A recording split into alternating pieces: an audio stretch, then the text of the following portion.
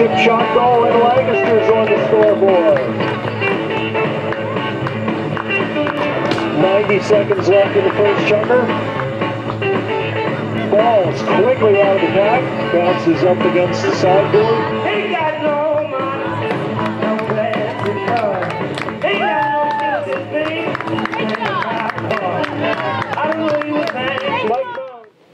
Looks like it's going to be Lancaster in the familiar red and white versus Rabbit Hill sporting the new green and white shirts, which were introduced last week during Caribbean Cup.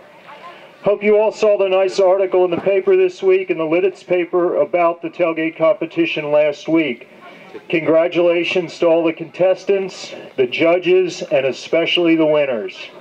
If you haven't been up to watch a polo match here at Forney Field, once the match starts, the horses and riders do come across the red sideboards, and a foul ball in polo does happen. Your referee today is Donnie Aiken, founder of Cowtown Polo Club. Donnie and his wife are up here just about every Sunday helping us out, and we do appreciate their support. Looks like number two for Rabbit Hill, young Nick Vidal, is sporting the helmet cam again today. If you were here last week, Nick filmed several chukkers with the helmet cam. Let's begin by introducing visiting Rabbit Hill. Ladies first, please welcome Audrey Van Louvenet. Shariah Harris from Work to Ride. Mark Harris also from Work to Ride, and Nick Vidal completes the team for Rabbit Hill, sporting those nice green jerseys. Now, your hometown heroes. Let's introduce young Malachi Lyles.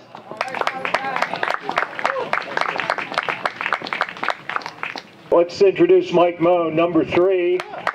And number four is Kevin Brocky. Sorry, I don't know number two's name. I guess you're playing for Marisol, playing for Work to Ride. Okay, going to turn the mic over to Michelle for the uh, singing of the Star Spangled Banner. Please salute the colors besides the, beside the announcer's stand. Take it away, Michelle.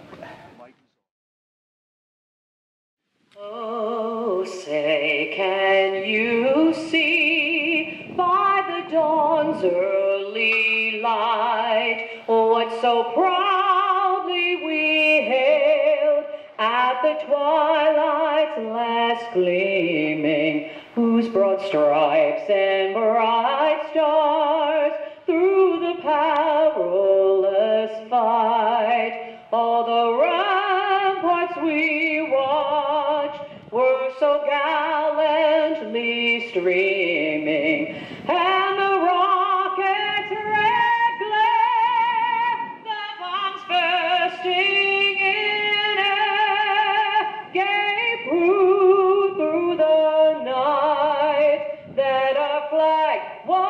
still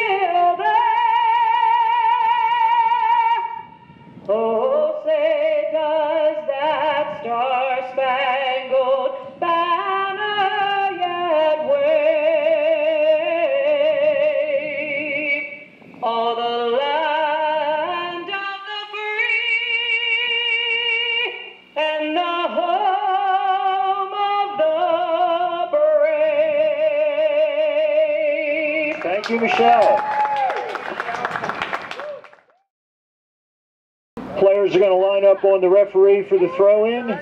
You'll see six seven-minute chukkers, which is polo parlance for period. Yeah. No, it's. Balls into the pack of ponies. Audrey Van Louvenet gets it going for Team Green, Rabbit Hill. Probably. But I like it. Shariah Harris keeps it alive for the green team. Nick Vidal.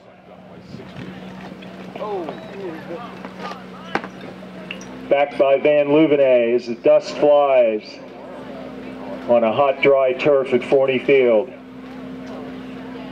Yeah. Vidal keeping it alive. Shot, rolling, goal. Rabbit Hill quickly on the scoreboard. Rabbit Hill with the first goal of the afternoon.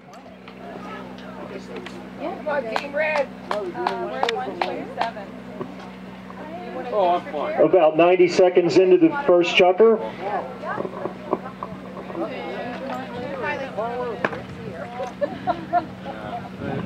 fun. Teams switch goals after each score, so Rabbit Hill will be going down toward the lower goal. I'm trying to remember her name. I can add to this. Tack timeout. Ball's into the pack of ponies. Van Louvenet trying to knock it out. Plays it off a pony. There's Brocky.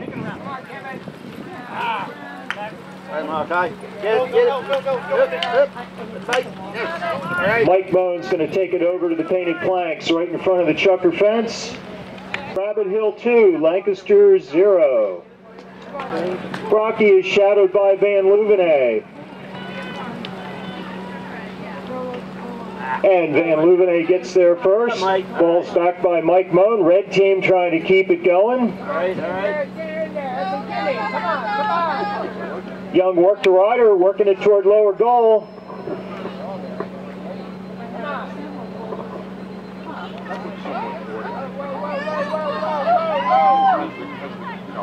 Ball's right in front of the goal. Chip shot goal, and Lancaster's on the scoreboard.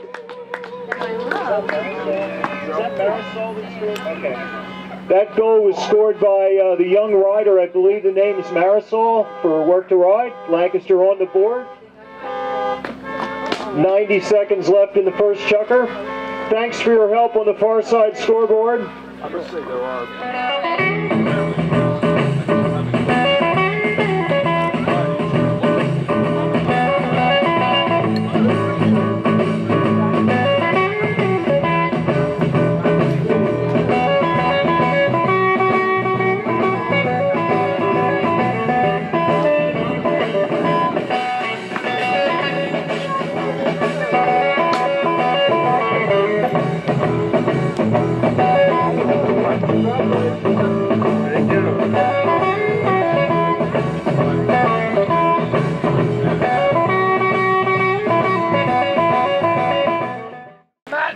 We play polo up here every Sunday, June through Columbus Day weekend.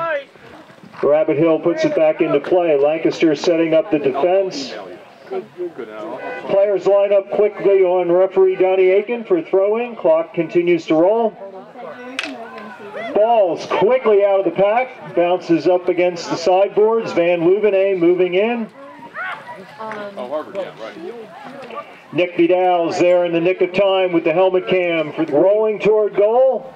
Lancaster's there for the tap in. Well done. Good teamwork. Lancaster coming back. Keeping it close. Fourth goal of the contest. Lancaster 4, Team Green 5. We got dust, we got wine, we got excitement. What more do you want?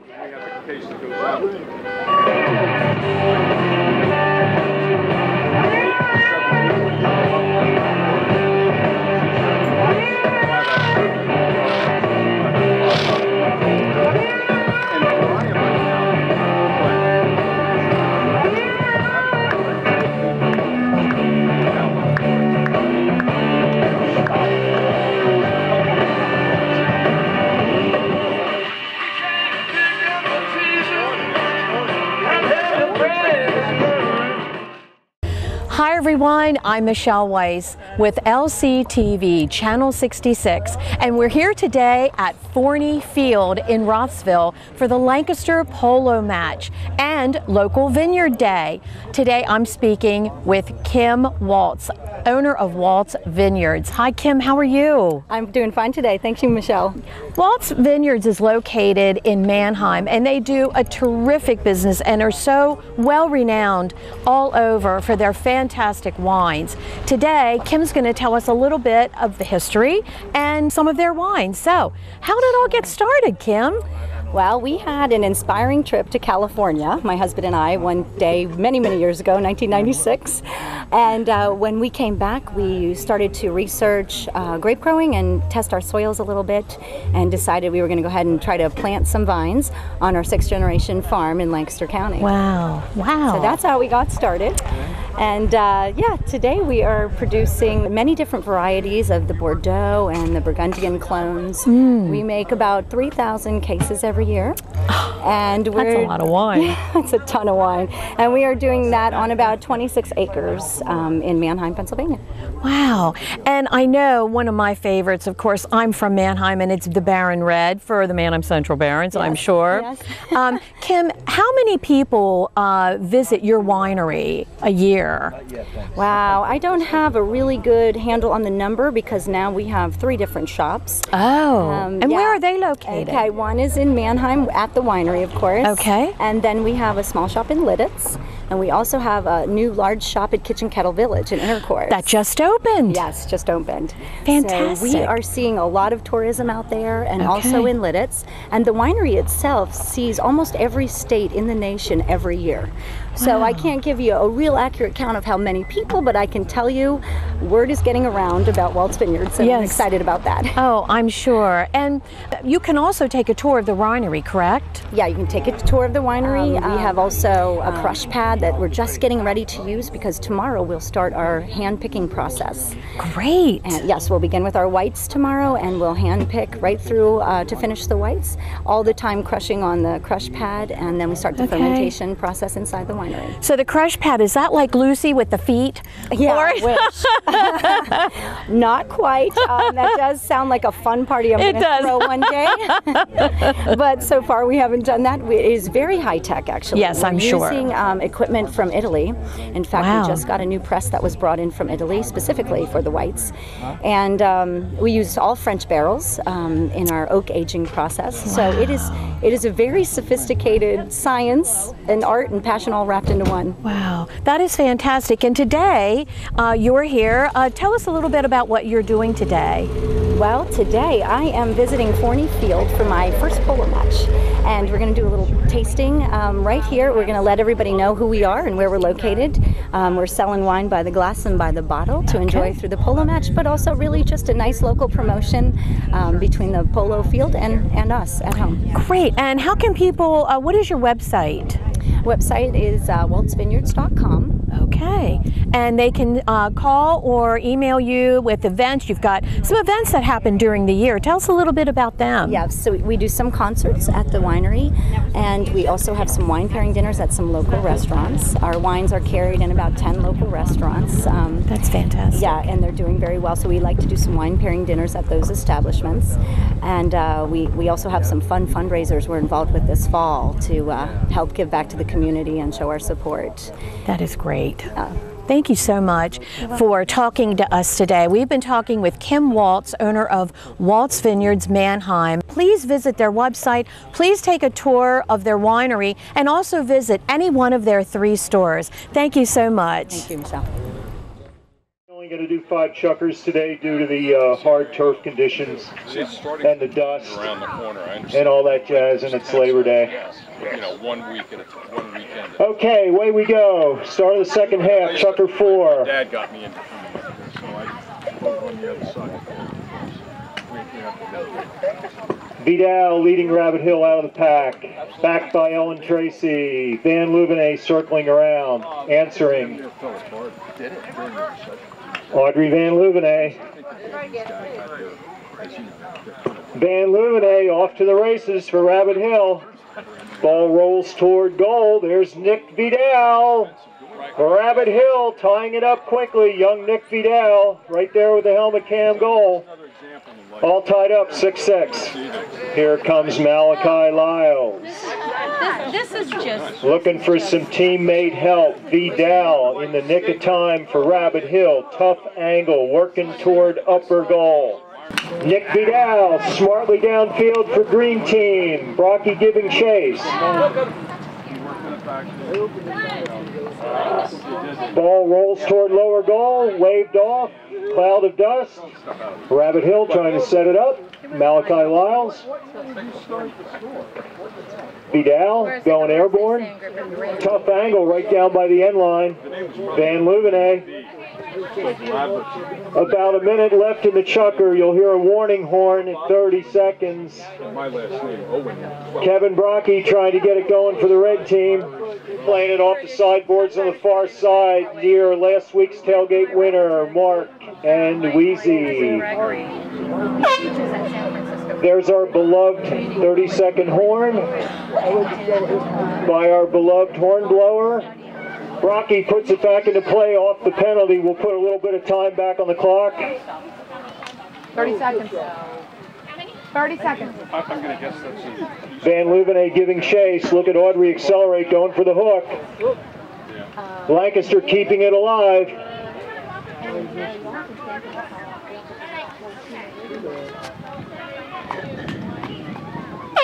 Time expires. Malachi Lyles is there for the final shot. Score stands Rabbit Hill 9, Lancaster 6. We have one more chukker to go this afternoon. We're only going to play five instead of the usual six.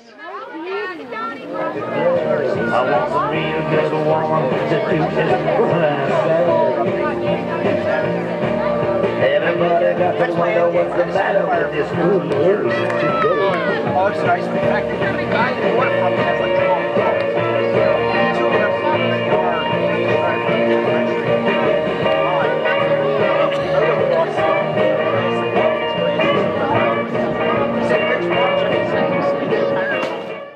Play continues. Lancaster working it toward upper goal. Ball drifts right by the goal, but it goes wide right. Robbie waves it off. Rabbit Hill will set it up on the end line. Clock continues to run. Final chukker today. Vidal trying to bust through the pack. Van Leuvenay taking the polo pellet airborne. Audrey Van Leuvenay accelerates by Mike Moan. Ahead to Vidal. Ponies put on the brakes. Malachi Lyles keeping it going for Team Green. Malachi on a mission toward lower goal. Wide left, cloud of dust. Lancaster will set it up on the end line. Clock continues to run. Ball goes airborne on the far side. Lancaster trying to work it. Lyles and Harris. Moan, big booming shot toward upper goal as the ponies chase after it. Ball's right there. Moan, chip shot goal. Lancaster, dramatic fashion, seventh goal. Four minutes left in the match. Lancaster, seventh goal. Moan alone. Harrison Vidal doing battle. Lyles trying to work it out of the pack. Ahead to Audrey Van Leuvenay. Van Leuvenay. Malachi. Nice shot. Goal. Wow.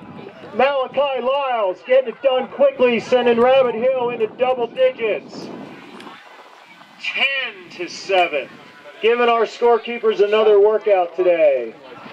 10 to 7, Rabbit Hill. Van Leuvenay quickly out of the pack. Checked by Lancaster. Back to Van Leuvenay. Van Leuvenay answering shot. Ahead to Malachi. Malachi on the attack for Team Green. Vidal there in the nick of time giving some teammate help. Lancaster putting it back into play. Rocky back on attack.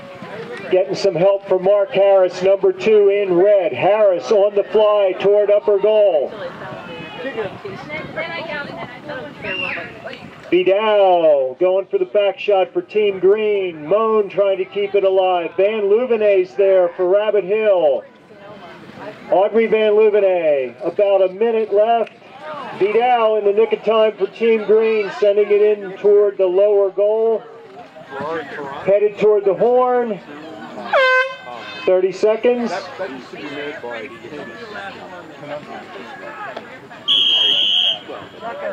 That'll do it. Rabbit Hill tops Lancaster's 10 to 7 today. Dusty day at Forney Field. Going. Thank you for coming out. Thank you, Waltz Vineyards. Thank you, Work to Ride. Thanks to all the players, flaggers, timers, scorekeepers, everybody that keeps this place going. Hornblowers, yes. Players shake hands. They'll do the traditional ride around. Want to thank LCTV for coming out today to film the match. Why not? Also want to thank the Lititz paper for their great support and coverage this season. Please follow Lancaster Polo Club on Facebook. Thank you for your support. Let's give a hand to all the players, all the grooms, hot walkers, truck drivers, polo widows. It takes a village. Scorekeepers, for Rabbit Hill, Nick Vidal, Malachi Lyles, Shariah Harris, Audrey Van Louvenay. For Lancaster, Mike Moan, Kevin Brocky, Mark Harris, Ellen Tracy, Ken McSherry. Your referee, Donnie Akins.